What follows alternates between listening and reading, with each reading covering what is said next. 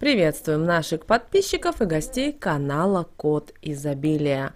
Друзья, мы вас всех приветствуем в изобилии и достатке. Сегодня в этом видео мы с вами поговорим о том, какие деревья нельзя сажать возле дома и почему наши предки именно эти деревья не сажали для того, чтобы не привлечь беды и проблемы, а также финансовые трудности в нашу жизнь. Поэтому обязательно досмотрите это видео до конца и сделайте определенные выводы. А прямо сейчас подпишитесь на канал Код Изобилия, ставьте лайк этому видео, видео и обязательно поделитесь этим видео с теми, кому эта информация действительно будет полезна и важна. Итак, какие деревья нельзя сажать возле дома? Деревья, растущие рядом с домом, помогают нам, людям, успокаивать свои нервы, чувствовать поддержку самой природы. Вот только не все растения, деревья подходят для соседства с людьми. И чтобы избежать неприятностей, давайте вместе с вами прислушаемся к народным приметам, суевериям и традициям. Наши предки всегда жили в гармонии с природой, поэтому достаточно хорошо знали, какие растения будут уместны рядом с домом. Какой бы участок вы бы не собирались а, облагородить, пространство вокруг частного коттеджа, дачи или же придомовую территорию многоэтажного дома. Нужно знать точно, какие из деревьев вам точно не навредят. И мы составили для вас список растений, которые отрицательно, к сожалению, влияют на людей. И их лучше не сажать возле жилых домов. В целом все деревья, растения можно разделить на два типа – те, что привлекают счастье, благополучие и что отнимают удачу, благополучие, достаток. И те, кто у нас из деревьев растений отнимает все то, что нам в изобилие, в достаток, принято называть энергетическими вампирами.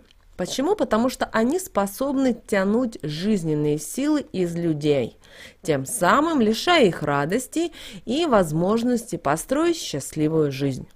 Конечно же, таких деревьев много, и увидеть их можно как раз у жилых домов, чьи хозяева даже не догадываются о грозящей им опасности. Итак, что это у нас за деревья? Во-первых, это дуб. Дуб – это дерево мудрости и долголетия, которое прекрасно смотрится на опушке леса или в дубовой роще – или куда часто ходят люди поразмышлять о своей жизни и прийти, например, к какому-то решению. Ну а возле дома это могущественное дерево сажать не стоит по нескольким причинам. Почему? Потому что, во-первых, дерево забирает здоровье мужчин, начиная с главы семьи. Дуб заглушает энергетику мужчин, и они попросту уходят из семьи, не выдержав молчаливой конкуренции дерева. Поэтому подумайте 10 раз перед тем, как вы решите посадить дуб возле своего дома. Следующее дерево это береза.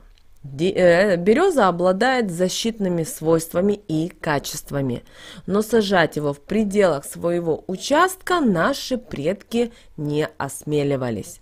Энергетика этого изящного растения способна помочь одиноким сердцам утолить сердечную боль. Несмотря на это, по народной примете в кронах красивых берез обитают духи, которые не жалуют людей и могут им всячески навредить. Поэтому березку лучше посадить подальше от дома, для того, чтобы издалека любоваться сочной зеленью. Поэтому вы, наверное, наблюдали, что обычно березку садят в парках, где-то в посадках, но никогда вы не увидите как таково березы, чтобы садили именно возле дома. Следующий это грецкий орех. Дерево по сама по себе обладает нейтральной энергетикой. Однако в простонародье его считали разрушителем семейного счастья. И самой простой причиной вы можете назвать мощную корневую систему дерева, которая способна разрушить фундамент дома. Также обращаю ваше внимание, у тех, у кого растет грецкий орех, больше, то есть его энергетика настолько велика, что возле грецкого ореха больше не может расти ни одно дерево. Так что подумайте. Следующее растение, дерево, которое не нужно сажать возле дома, это верба. Несмотря на то, что вербу используют в православных обрядах, она, к сожалению, обладает неблагоприятной энергетикой. По поверьям, тем, кто посадит возле дома вербу, грозят, э, грозит беда в тот же год. По тем же причинам возле дома никогда не сажали ивы и осины, которые, как считается, губят живую энергетику и выживают людей. Следующее – это тополь.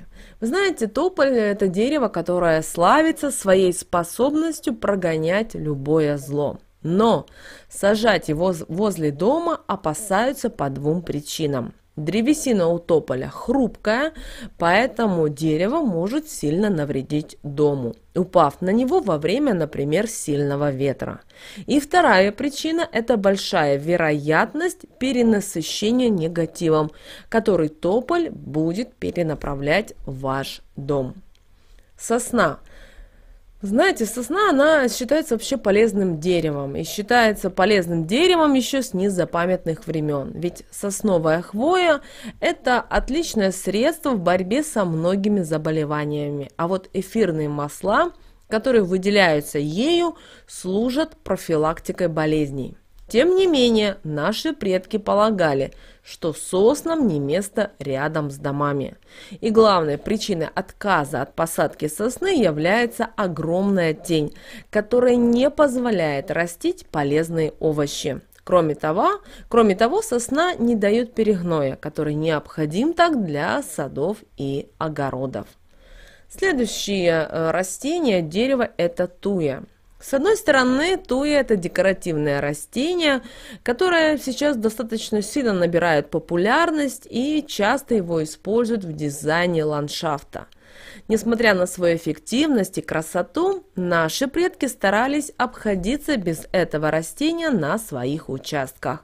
Все дело в том, что по народной примете туя отваживает женихов и не позволяет молодым девушкам найти свое счастье.